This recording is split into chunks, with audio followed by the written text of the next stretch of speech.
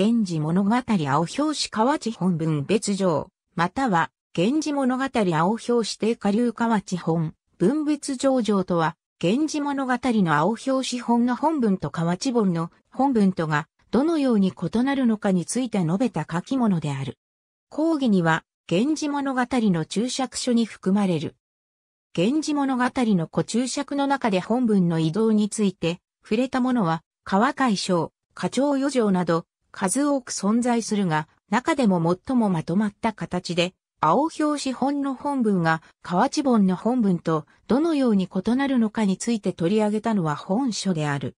奥書きによれば本書は、延徳2年の成立であり、大内正弘が猪苗代検裁に命じて作成させたとされる。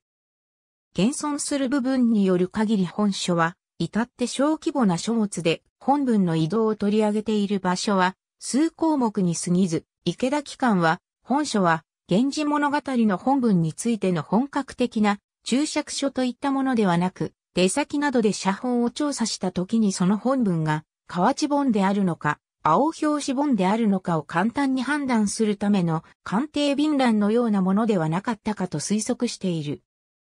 本書で青表紙本や河内本とされている本文の多くは、川海章や花鳥余剰といったそれ以前の注釈書において、青表紙本や河内本とされていたものであるが、池田機関が多くの写本を調査した上で完成した行為源氏物語によって明らかになった青表紙本や河内本とはしばしば異なっており、池田本書に記述について確かな伝本を確認した上で書いたのではなく、それ以前の注釈書の記述からの孫引きであったり、記憶に基づいて書いたりしたのであろう。としている。